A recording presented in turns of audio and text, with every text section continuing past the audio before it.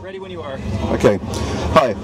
Right. Um, basically, I'm Paul from Loopmasters, and I've got some samples here assigned to um, assi- assigned in live, and we're going to trigger some clips live using the AudioCubes to trigger them. An AudioCube is basically uh, a MIDI controller using infrared. And uh, we can assign each side of the AudioCube, four sides, to MIDI notes or anything you want, basically. Control, change, whatever you like.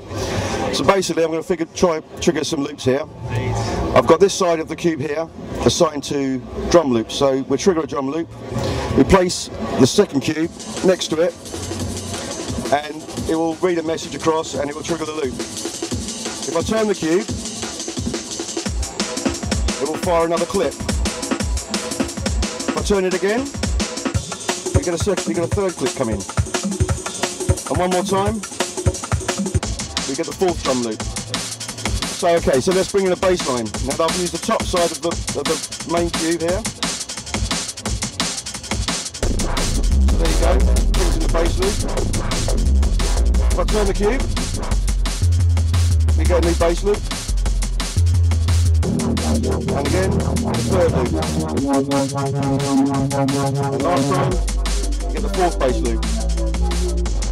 So we move over to the, this side here, and we start triggering key loops.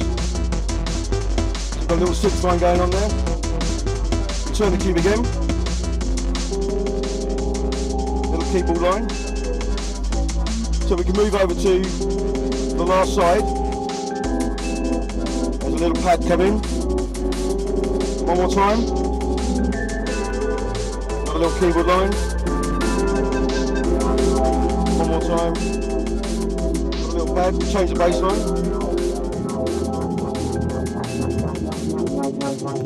Move that one. Okay. Right. So now change the drums again. You can do it pretty quickly as well. So.